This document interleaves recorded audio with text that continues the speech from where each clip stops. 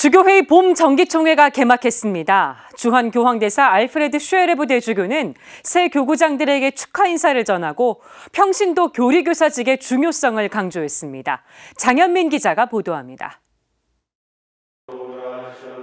주교회의 정기총회는 주한 교황대사 알프레드 슈에레브 대주교의 개막 메시지로 문을 열었습니다.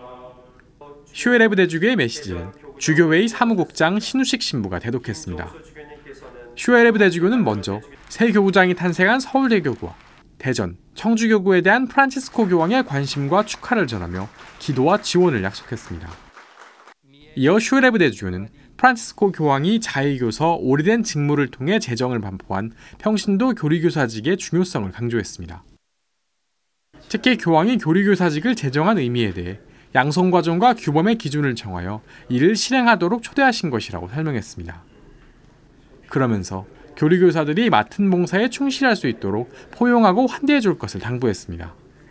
앞서 말한 기준에 근거하여 교리교사 직무를 위한 성소를 식별하고 깊은 신앙심과 성숙한 인성을 지닌 남성들과 여성들을 뽑도록 부름받습니다.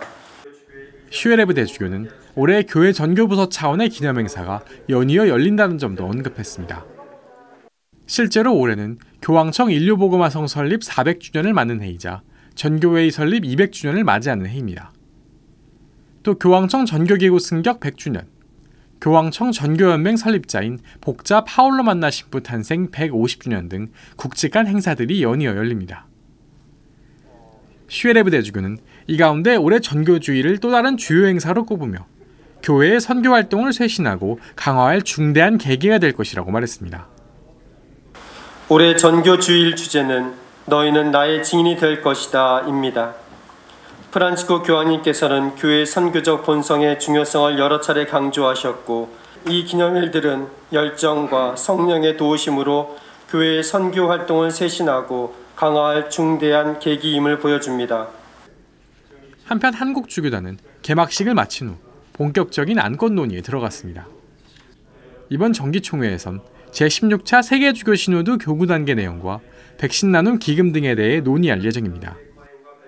주교회의 정기총회는 전국 16개 교구의 교구장과 보좌주교, 수도의 장상이 모여 한국교회 주요 사안을 점검하고 결정하는 자리로 매년 봄과 가을 두 차례 열립니다. CPBC 장현민입니다.